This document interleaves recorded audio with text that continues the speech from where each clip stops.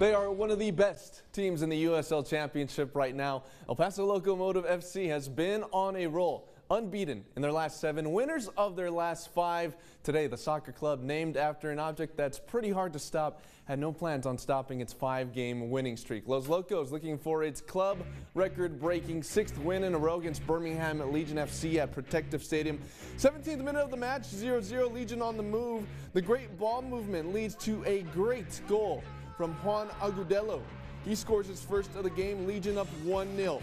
Two minutes later, the Locos on the tracks, Lucho Solignac in the right place at the right time. That's his 16th, excuse me, his sixth goal of the season. Game tied at one at the half. Second half rolls around. Legion trying to get out of trouble, but they got themselves into even more trouble. Liam Rose with a rocket into the back of the net. Rose's stunning goal gives Locomotive FC a 2-1 win over Birmingham. That is six straight wins, and the Locos are feeling pretty good about it.